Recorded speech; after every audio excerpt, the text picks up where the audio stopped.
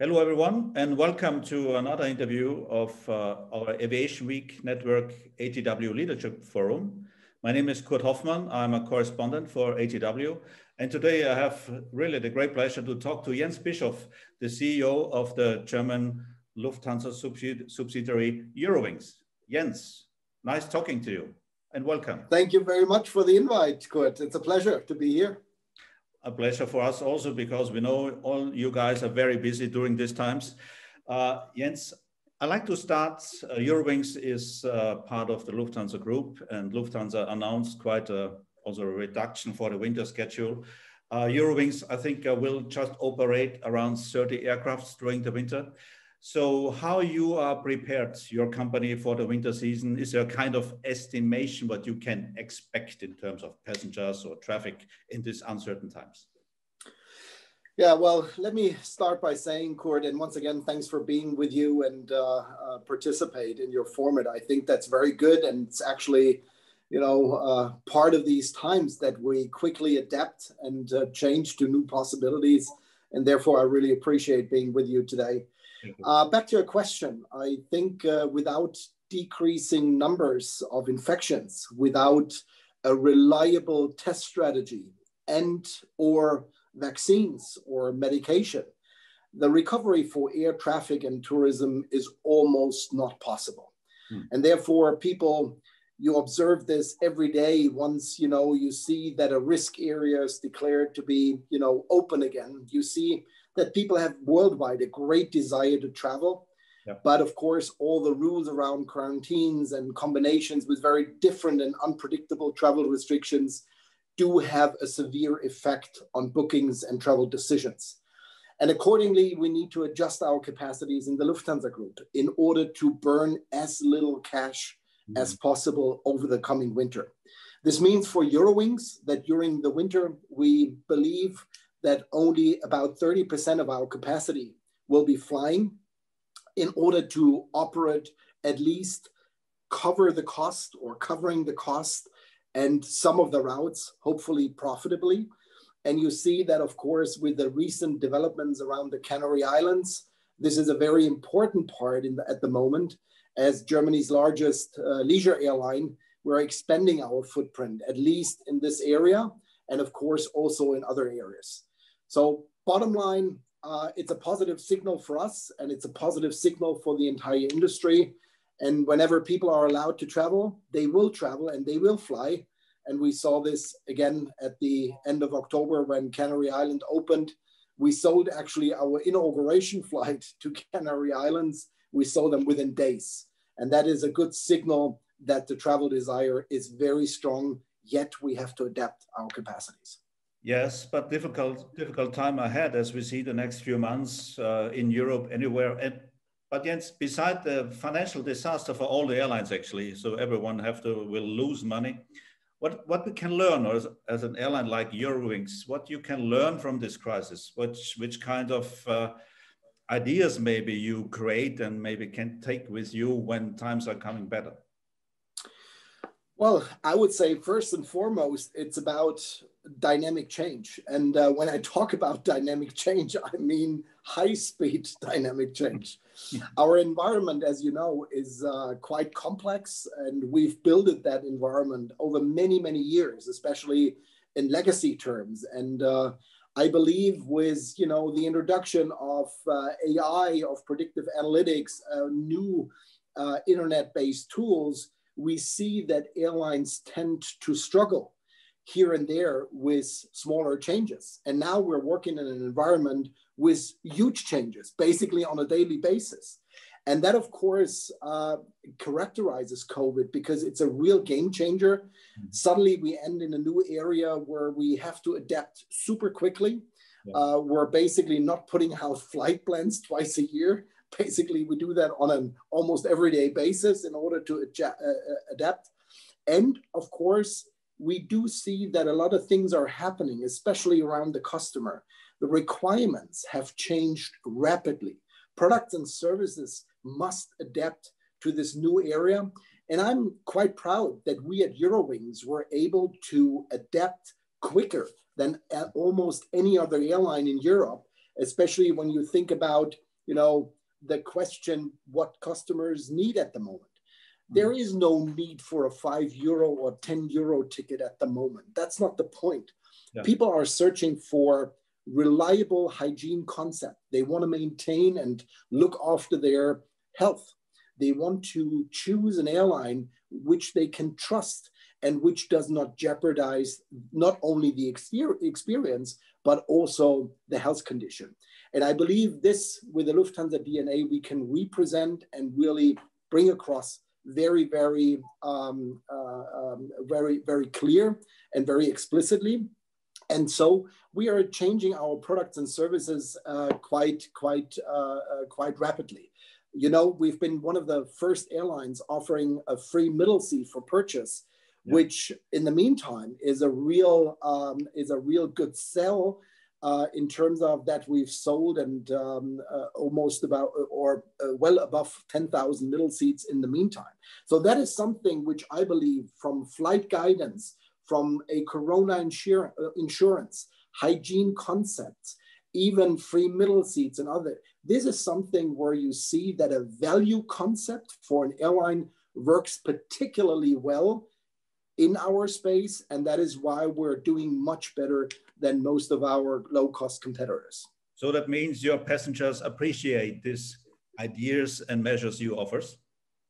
Oh, absolutely. If you look um, at uh, your colleagues' uh, ranking of uh, Aerotelegraph as an example, Eurowings in the meantime is in the top three ranks mm. of uh, the most popular airlines. If we look at the Horizon Brent uh, ticker, we see that especially in times of crisis, we gained about 25% in brand recognition from our customers. So there's clear evidence, not only by booking numbers in these uncertain times, but also if we look how the brand comes across, how trustworthy Eurowings is in perceived in the public, you see clear improvements. And that for me is a clear sign that customers are clearly recognizing what we're doing here at Eurowings.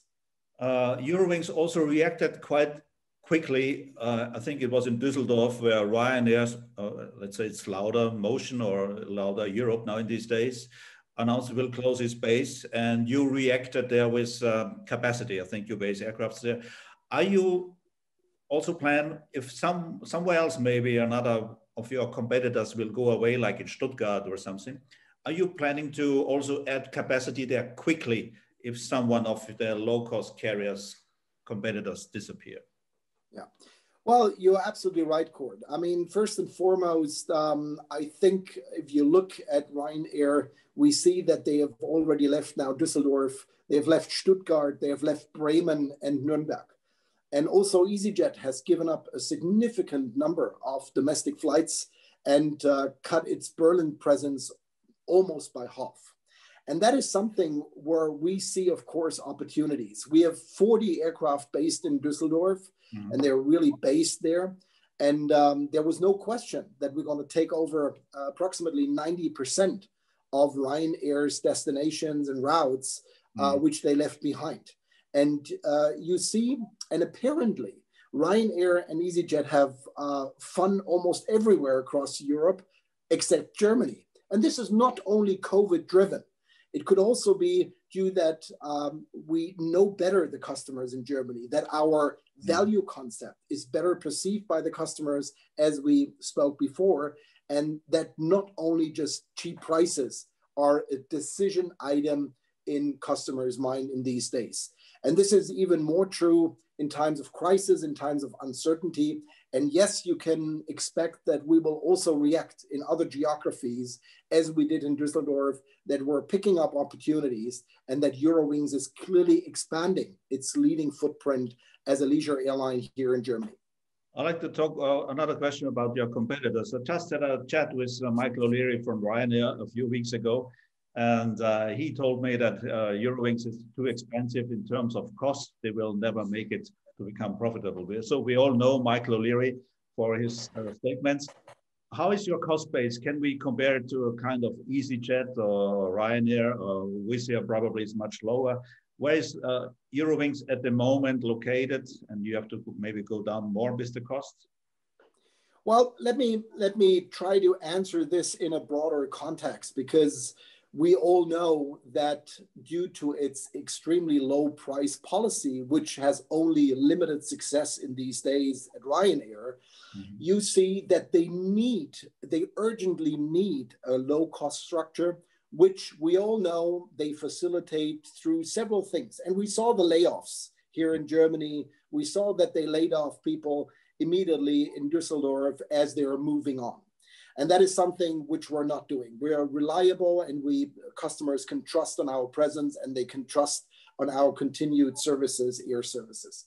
On the other side is, you know, the profitability of an airline is not just about cost positioning. It's yeah. also about the revenue quality you're acquiring from your customers. And that is something where Ryanair dreams about the possibility, what we achieve uh, with our value concept. And of course, we're looking at cost very seriously, mm-hmm. but we're not cutting cost on customers' expense.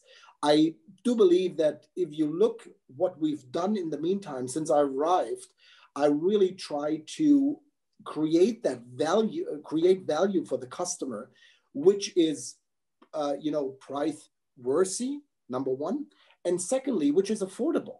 And that is something which also from my times at the JetBlue board in, in New York, uh, when I was on the board of directors, we created that, you know, special space where we said, you know, there some routes are overpriced, some are underserved, or some are just, you know, not rightly served because the value proposition is not correct. And this is exactly what we're doing here. So we compare ourselves, of course, going in the direction into EasyJet in terms of cost. And even if we're a little bit above right now, we have no problem with this because we have a revenue, prop- a revenue proposition from our customer, which is way better than Ryanair and still a lot better than EasyJet. Uh, Jens, is it possible to think of an estimation about the summer 2021, or is it too difficult to, to, to talk about as we don't know what happens all over the winter? And hopefully then we find a bit more solutions for to cover the, the corona crisis. Can you give us an, an outlook, if possible? Of course, of course. And, and, and as you know, Kurt, there's only limited space for optimists in these days. Yes, absolutely. but but I count myself as one of that species. And in other words, I, I do believe if you look at the industry, the entire industry expects a very weak first quarter 2021 mm-hmm. and probably a difficult first half of the coming year. But even in this difficult fall and winter, there are signs that there's which are encouraging. As I said, the desire for travel is there people they want to travel and there's a i expect that there is a major catch-up effect once mm. we get the pandemic under control where testing strategies are in place vaccine medication whatever have you so for early summer we're seeing almost i would say normal booking intakes in these days mm. which reflects the fact that people do believe that you know solutions will be found they assume that travel restrictions will be lifted and they want to fly. And of course, leisure travel will recover faster than other segments. And that brings me a little bit to the positive or optimistic scenario that, of course, um, the peak of the summer 21 might show a quick rebound, especially in the leisure space, especially in the space of the visit family and friends segment. Yeah and we will see that there will be, you know, significant movement.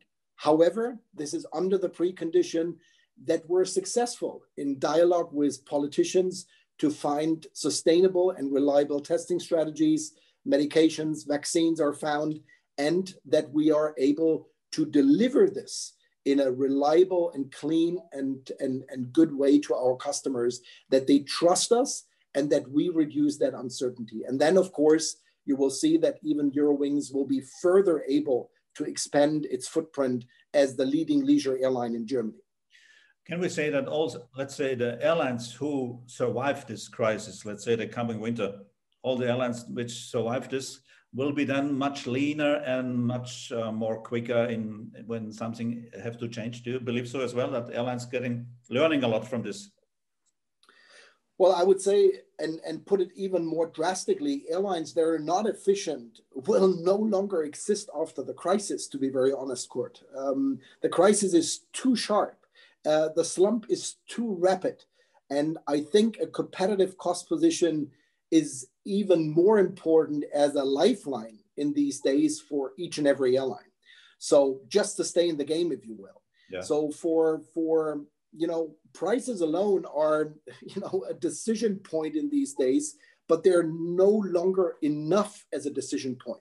Mm. Um, and since COVID, as I said, uh, safety, health, trust, these are the topics which we need to address first and foremost. And whoever puts together the best care and value package is going to convince the customers and will win the race in the future. And I believe, again, with our Lufthansa DNA, we can represent this in a very good and trustworthy fashion. And I think we're very well positioned to succeed because we're changing and adapting so fast. Final questions also regarding regarding Lufthansa. What can Lufthansa learn from Eurowings? well, Lufthansa number one is a powerhouse, and um, it's an industry leader in many areas, and um, has always done its pioneering work, uh, setting standards. But Lufthansa is also smart enough to look twice when you know subsidiaries, adjacent companies come up with new developments and things in the market. And of course, we exchange our data, we exchange our knowledge and experiences. And especially if you take the free middle seat, which Eurowings launched as one of the first airlines this summer, is a very good example. Now you have it available even on Lufthansa economy class. And whether you look for more comfort or you believe that more distance is according to your needs, you have the choice, not only at Eurowings, but also at Lufthansa. And of course, we have, you know, the advantage of being a little smaller a little bit more agile and uh, speed and agility are important, especially in times of rapid change, as we said. And I believe if you look at the current change uh, of dynamics at Eurowings, uh, this is quite impressive. And the customers, they like it. And Lufthansa will also change accordingly. And that is a good symbiosis, if you will, here, especially in the Lufthansa group, where exchange knowledge, data, experiences with Lufthansa, with Swiss, with Austrian, Brussels Airlines, Air Dolomiti, and others. Jens Bischof, CEO of Eurowings. Jens, thank you very much for your time talking to us. All the best for your airline, and uh, hopefully you have a good winter and start powerful into the summer 2021. Thank you very much, Kurt. That's very kind of you. It was a true pleasure being with you and uh, wishing you all the best. Stay healthy. Thank you. Thank you, Jens. And ladies and gentlemen, thank you for watching. And until the next interview, Thank you and bye bye.